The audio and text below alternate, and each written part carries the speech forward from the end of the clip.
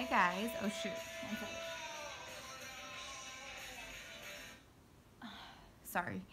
Um, burning question for those of you out there that have Turo Go or that have tried Turo Go. I would love to know what your guys' experience has been so far using the new Turo Go system. For those of you that don't know what it is, it's Turo's um, new system where people can rent your cars without actually having to meet you or you having to hand off the car. So sort of like a keyless entry where you, I believe, leave the key in the car and they can app unlock through their reservation.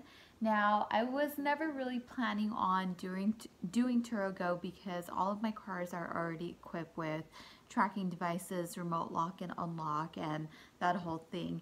But the only reason why I've more recently started to look into it is because I've noticed that all the cars that do have Turo Go with the app unlock, they're ranking way higher than cars that don't have Turo Go.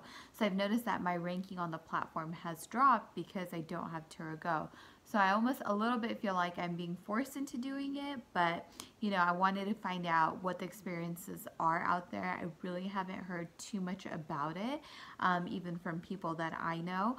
Um, so I am interested in knowing one, how has the experience been for guests? Um, how has the experience been with the actual app? Like how seamless is it really? Is it pretty glitchy? You know, what's happening there because I know that this is something new and something that they are applying changes to.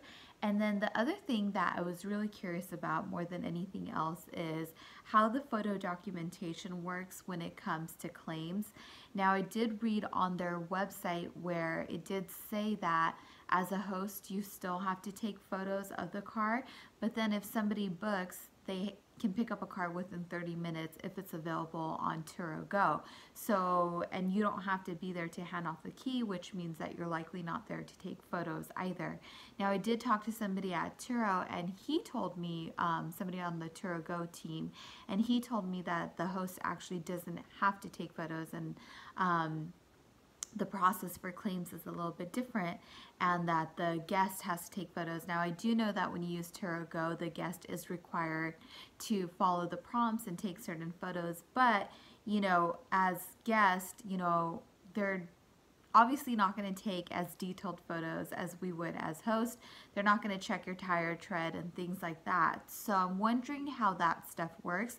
So if there's anyone out there that has had Turo Go, that has had claims, if you can please share your experience with me and with everyone else that watches this. I know I've had a lot of people asking about Turo Go and I haven't done it myself, but I think here in the next couple weeks I'll probably try it out on a few cars. Now the other thing that really interests me and what I want to experiment with and really find out about is do people prefer to meet with the host in person or do they prefer to just do it all through the app and not have that interaction? You know, especially with the way that our, I guess, society is changing these days, the lack of human interaction, I think people are getting used to it. So now it sometimes it almost feels like people feel uncomfortable and awkward when they have to meet somebody and like conversate with them. Um, I definitely do get that feeling when I have some of my younger guests rent my cars. You can tell like they're uncomfortable having a conversation and that interaction, probably just because that's what they're used to with the internet and social media and stuff like that. So I'm wondering if people prefer um, non-host interaction, no human interaction, just be able to do it through an app. I would love to hear from you guys on this. I can tell from the advertising that uh, Turo is doing and also for the summit that they're holding next week. You know, it's one of their main line items on the agenda is to talk about Turo Go.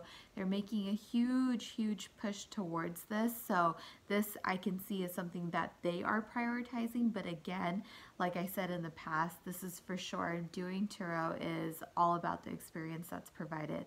So I'd really like to know about what is the experience that people are having with Turo Go. And if you're a renter and you've done Turo Go and you happen to watch this video, we would love to hear from you as well. Thanks for watching guys. Bye.